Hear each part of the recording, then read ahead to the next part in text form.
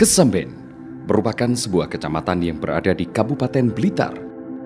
Kesamben berpenduduk sejumlah 50.691 jiwa dengan sebagian besar mata pencarian penduduk sebagai petani.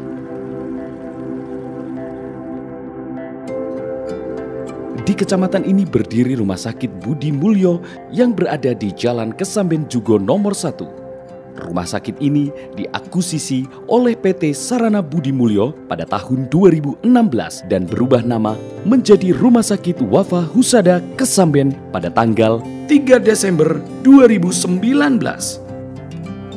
Sebagai bentuk pengembangan sayap usaha dari Rumah Sakit Wafa Husada Kepanjen, Rumah Sakit Wafa Husada Kesamben ini berdiri di atas lahan seluas 1.465 meter persegi dan memiliki lahan pengembangan seluas 6.696 meter persegi. Selamat pagi. Dengan semangat wafa yang berarti memenuhi apa yang menjadi tugas dan kewajiban, kehadiran Rumah Sakit Wafa Husada Kesamben adalah untuk memenuhi kebutuhan pelayanan kesehatan yang dibutuhkan oleh masyarakat. Rumah Sakit Wafa Husada Kesamben kami memiliki visi menjadi rumah sakit inovatif pilihan utama masyarakat. Kami memiliki misi satu, menjangkau dan melayani pelanggan secara profesional dengan niat berkhidmat atas dasar keimanan dan moral. Dua, meningkatkan tata kelola organisasi yang baik dan sumber daya insani yang berkompeten dengan mengutamakan mutu dan keselamatan pasien. Tiga, berinovasi untuk menciptakan produk-produk unggulan yang kompetitif. Empat, menyediakan sarana prasarana yang berkualitas dengan daya dukung teknologi dan digitalisasi.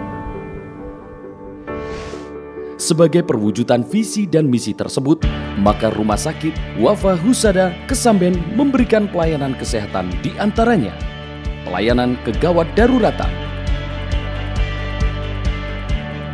Guna meningkatkan kecepatan waktu penanganan pasien, instalasi gawat darurat ini juga dilengkapi dengan mobil ambulans serta motor ambulans.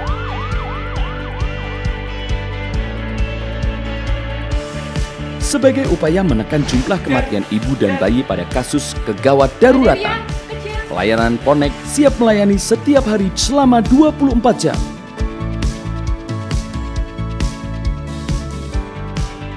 Sedangkan untuk persalinan normal dilayani oleh dokter dan bidan di ruang bersalin.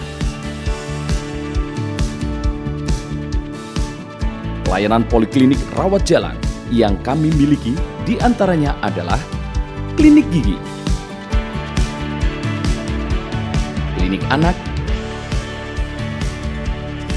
klinik penyakit dalam dan geriatrik, klinik kandungan atau oksigen, klinik bedah umum,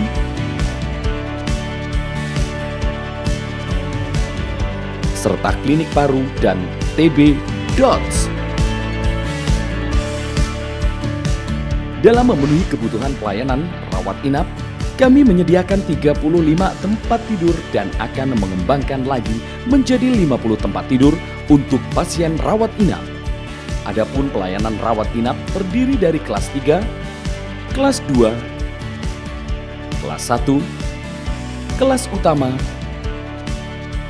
kelas VIP, dan kelas VVIP. Khusus untuk penyakit tertentu, rawat inap kami menyediakan juga kamar isolasi yang mencegah penularan penyakit. Untuk pelayanan rawat inap neonatus atau bayi baru lahir, kami menyediakan pelayanan perinatologi.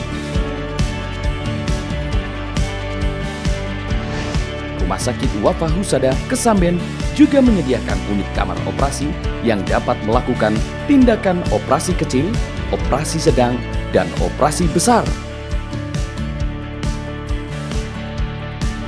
Untuk menangani kasus penyakit kritis, Rumah Sakit Wafa Husada Kesamben juga dilengkapi dengan pelayanan High Care Unit. Dalam menunjang pelayanan medis, kami menyediakan pelayanan penunjang di antaranya instalasi farmasi, unit laboratorium, unit gizi,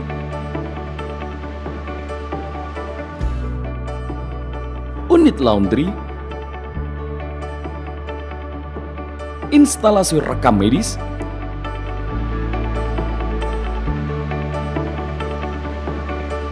unit pemeliharaan sarana dan prasarana rumah sakit atau UPSRS, serta instalasi pengolahan air limbah. Selain melayani pasien dalam proses penyembuhan penyakit, kami juga memberikan pelayanan untuk meningkatkan derajat kesehatan yaitu screening dan medical check-up. Serta beauty and skincare.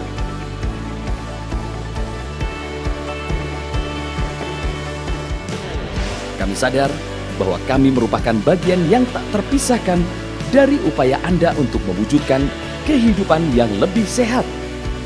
Oleh karena itu, komitmen kami yaitu menghadirkan pelayanan prima, profesional,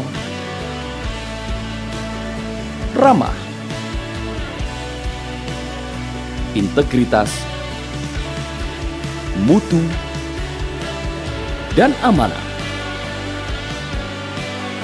Rumah Sakit Wafa Husada Kesamben